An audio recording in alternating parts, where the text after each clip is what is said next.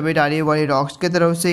तो जो मॉडल आए थे, उनको रॉक्स के पूछा गया तो इसके ऊपर रिया करते हुए कुछ ये कहा था। उसका बारे book camp I don't know let's see rocks का अभी वही उसका मेडिकेशन चल रहा है।